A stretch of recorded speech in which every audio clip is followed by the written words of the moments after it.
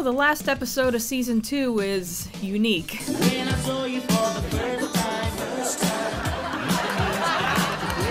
Yeah, this is a thing that happens.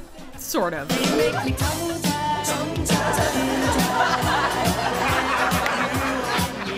It's also the best thing ever if you're a cat fangirl. Also, watch the expressions on Rimmer and Lister. They both really ham it up. Anyway, that turned out to be a dream that Cat had. Apparently, the ship's computer records everyone's dreams. Again, interesting little invasion of privacy there. He was looking for one that was a little more erotic. Me, three girls, and a family-sized tub of banana yogurt.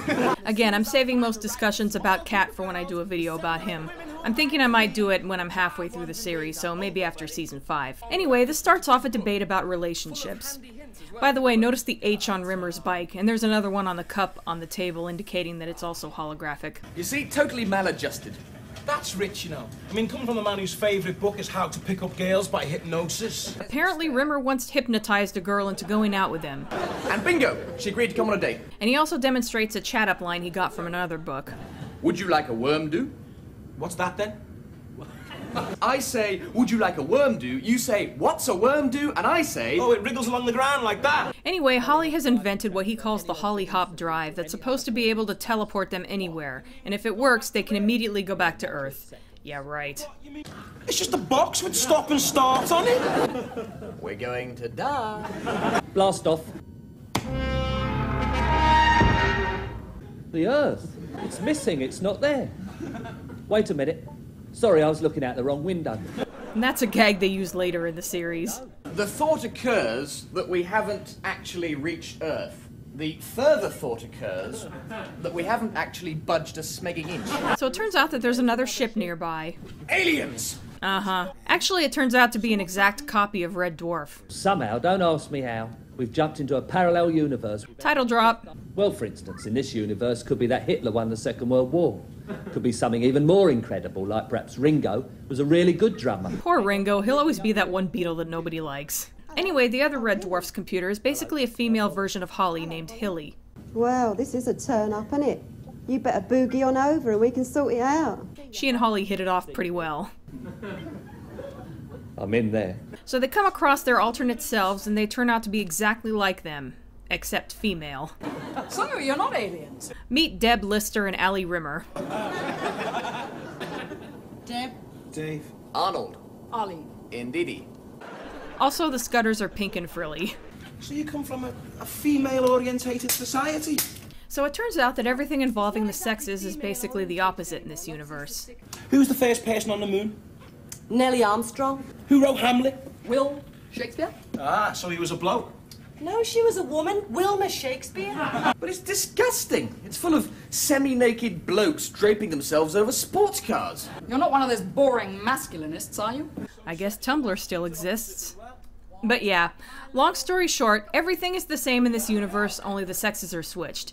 Down to men having to fight for equality, and while having made a lot of progress, they're still basically seen as sex objects. These models are deformed, hugely deformed. Makes one feel quite inadequate. So I guess women are into big dicks also. I think as a general rule, men care more about size than women do in the real world. But since they're parroting the idea of men being obsessed with boobs, I see where they're going with this. Hey, holograms can touch each other. Again, alternate universe where women have stereotypically male attitudes, so it makes sense. Hey, I hate to break up the party, but is there somebody missing? Cat wants to find his double, so Deb tells him where to look. Ah! I love that Cat audibly bumps into something on the way out and they still use that take. I think he's in for a bit of a shock. Why? His opposite isn't female. It's a dog. I see this version of Lister also likes to mess with Cat's head. Anyway, it turns out that it's going to take 12 hours to repair the Holly Hop drive, so they all hang out in the disco to kill time. Mind you, we've got a pretty good conversation going on here.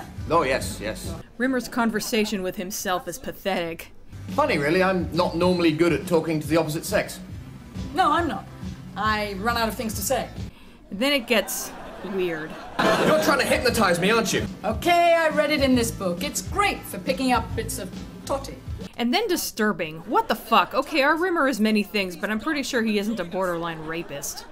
So our version of Rimmer and Lister talk about their other selves. Lister's experience is a little more in character.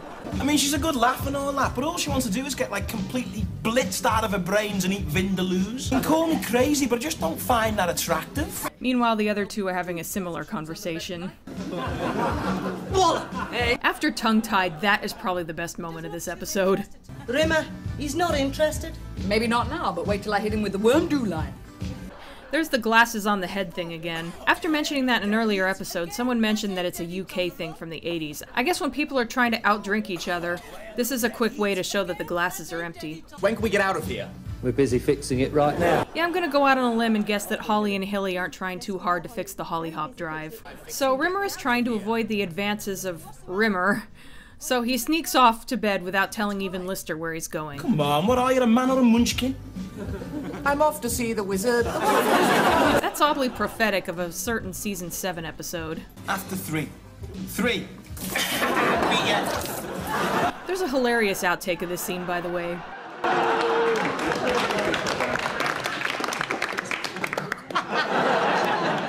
Wasn't funny.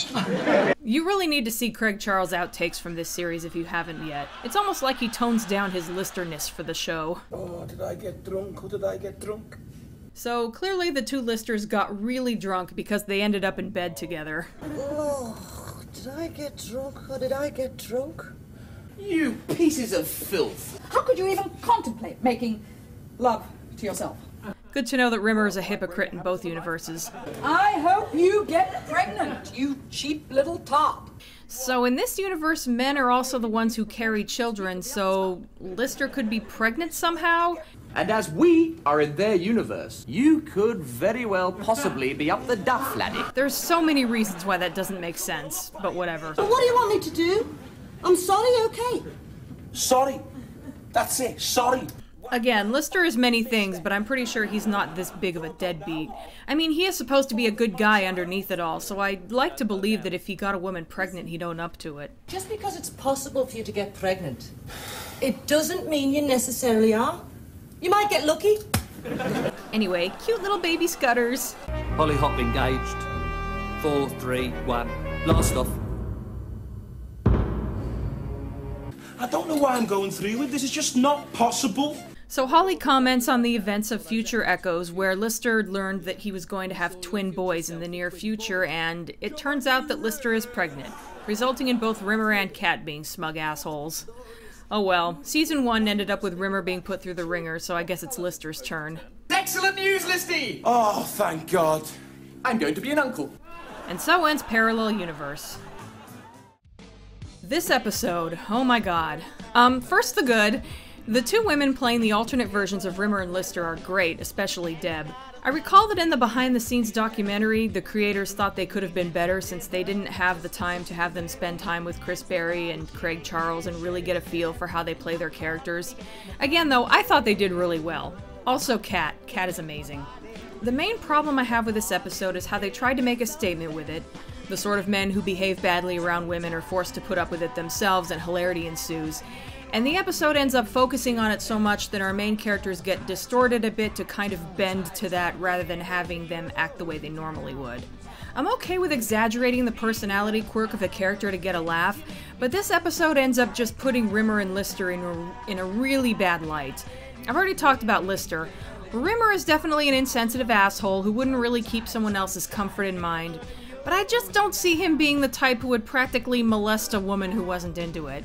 I mean, there were unfortunate implications about how he got with Yvonne McGruder. She had a head injury and probably didn't know what she was doing, and that is messed up. I feel like that could be chalked up to Rimmer being naive or in denial about it. I just, I can't imagine Rimmer doing stuff like this. Other than that, though, it is a funny and generally good episode. I like the conversation about Nellie Armstrong and Wilma Shakespeare, and how poor Cat gets trolled big time.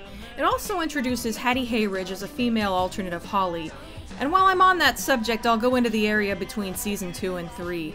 Now, I mentioned last time that we were nearing the end of Norman Lovett's run on Red Dwarf. Holly sticks around as a character, but from season 3 and up, for a while, Holly is played by Hattie Hayridge. Basically, Norman Lovett had a falling out with the creators and ended up leaving the show after season 2. Since Hattie Hayridge basically already had some experience, they cast her as the new Holly with the explanation that Holly was so in love with Hilly that he took on her appearance. Why not? I'll go more into that along with what becomes of Lister's pregnancy when I get to season 3. Speaking of which, next up is Sidra Cab. Or backwards. See you then.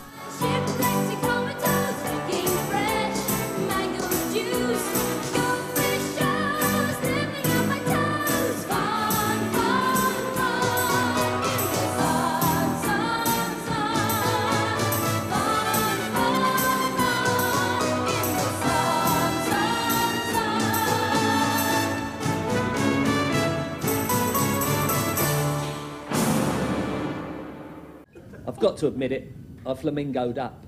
What? Well, it's like a cock up, only much, much bigger.